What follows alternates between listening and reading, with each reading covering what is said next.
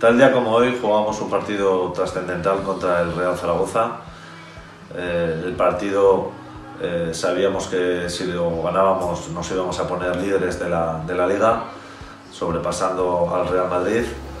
Eh, el partido en la Romareda, como siempre, son, son muy difíciles. lo pudimos ganar con 0-1, metiendo el gol de, de cabeza en la segunda parte en un gran centro de Jorge López en una falta lateral. Eh, fue uno de mis pocos goles de, cabeza, por eso lo recuerdo. Fue una de esas noches mágicas en el que el valencianismo disfrutó, en el que nosotros supimos en ese momento que podíamos ser campeones de liga.